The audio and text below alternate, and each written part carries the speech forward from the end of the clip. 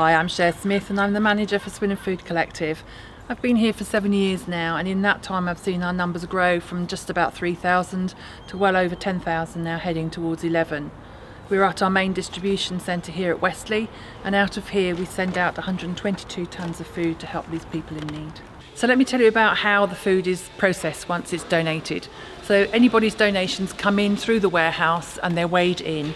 Um, they're then sorted by best before dates into products and into their years.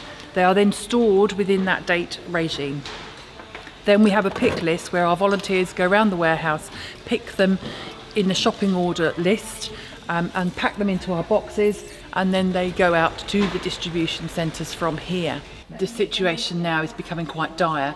This is all the fruit that we have um, and that will be probably be gone by the end of this week.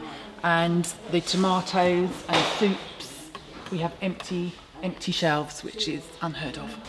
So to help fill our empty boxes, we're going to need donations of tomatoes, soup, um, potatoes, tinned meat, tinned meals, um, vegetables, um, fruit and puddings, definitely.